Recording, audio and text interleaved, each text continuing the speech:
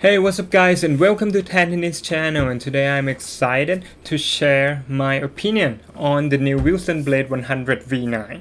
Actually this is really hard to find here in Thailand because whoever is the Wilson distributor decided not to bring the 100 in for some reason. So we only have the two string patterns of the 98 and we have the 100L. A little bit of a background I'm currently looking for uh, a new racket of choice to replace my Blade 98. I'm looking for something with a higher launch angle, um, better spin, better pop and forgiveness, but the same amount of control.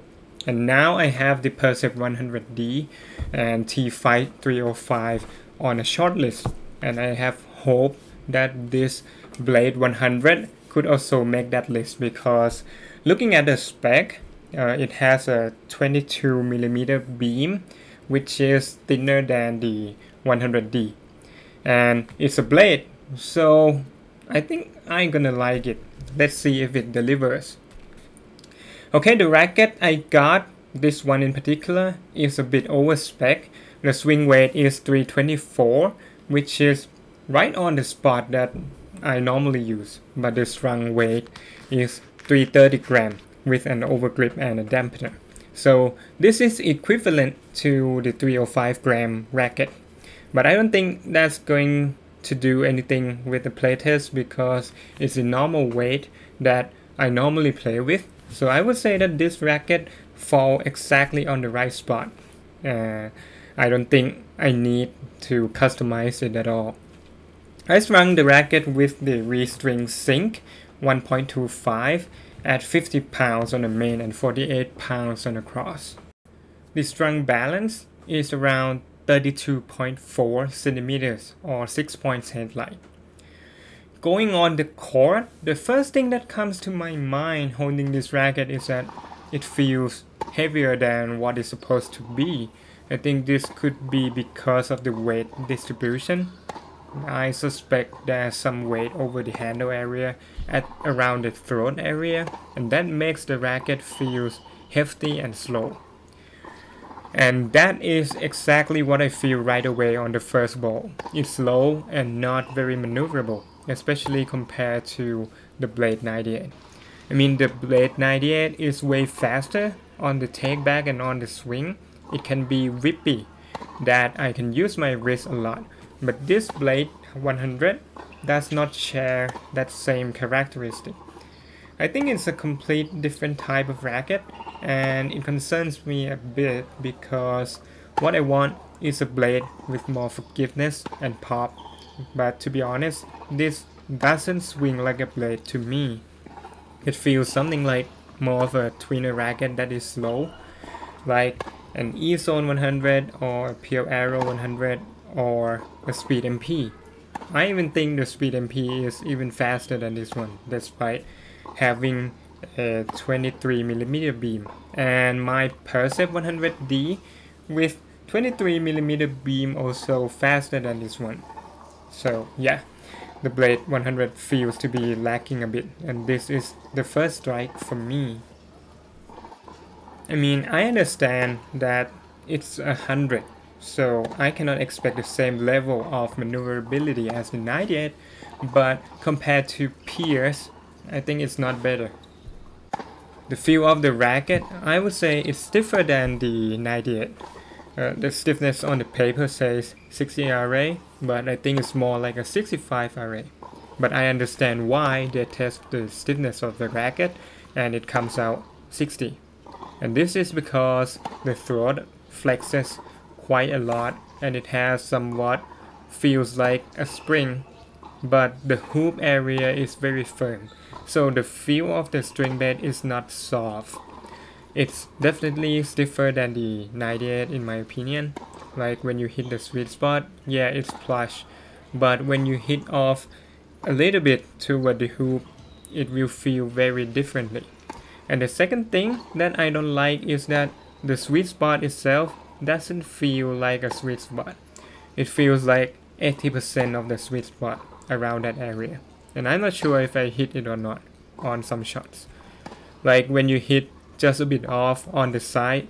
It feels like half shank all the time and I don't like that. It doesn't give me the actual pop, but it's like half pop, half shank. So yeah, it could be very confusing. The string bed feels very responsive to me and the ball gets off very fast. What I mean is, it doesn't pocket the ball that long. You know, the Blade 98 definitely has more pocketing than the 100. I think this is the most crucial factor that make it doesn't play like a blade. Um, the string bed is somewhat similar to the Radical MP I would say, which is not my favorite. I find it hard to control when the ball slingshot off the string bed that fast because my swing is more hitting through the ball especially on my backhand that is flat. It doesn't feel good to me but on the forehand yeah it was okay but not like ideal. But I think many people would like it especially players with modern swing probably not like extended full swing forehand but more of a compact and fast swing. On a side note, my younger brother plays very well with this racket because I taught him a modern forehand. And yeah, it suits his swing really good. What I like about this racket, basically I get more power, probably 10%, 15% more, not that much. So I can rely on that to dominate the point more. The serve is also very strong, especially on the first service, and I like it. However, I don't think it gives me that much extra top spin. I mean, it has better spin potential for sure, but access to the spin is the same as the 98 in my opinion, if you like swing the same way. But if you really brush the ball, you intend to hit the top spin ball, then yeah, you can get more spin with the sacrifice sacrifice of the power. It's not very balanced on the power and spin in my opinion. On the control, I think this racket has great control compared to the control twinner racket. It's more demanding and require good contact because the sweet spot is not generous. But compared to the Blade 98, I think it's a downgrade, especially on the depth control. I get that feel similar to the Speed MP when you swing out and once in a while it's, it slingshot the ball out even though you feel like you do everything right. The directional control I think is great though, especially hitting cross court. On down the line I think it lacks a little bit compared to the 98. Okay, so what is racket compared to the Blade 100 V8? I think the major improvement over the last version is the pop. It's easier to play with. I remember that when I play test the Blade 100 V8, uh, I was like, why would I use this racket at all? It doesn't give me anything better than the 98 except for the power, why it's almost as demanding. But on this 100 V9, yeah, I think it's quite easier to play with than the Blade 98, so I'm okay with it. But still, I don't think it suits my game style, so it will not make the list of my racket of choice. I will still choose the Percept 100D over the Blade 100V9 all day. So who this racket is for? I think it's for the player with modern ground strokes looking for a control frame with a bit more forgiveness and power. I will probably make a comparison video between the Blade 100 V9 and other competitors later, so stay tuned like this video and subscribe to my channel if you haven't done so and see you in the next video. Bye!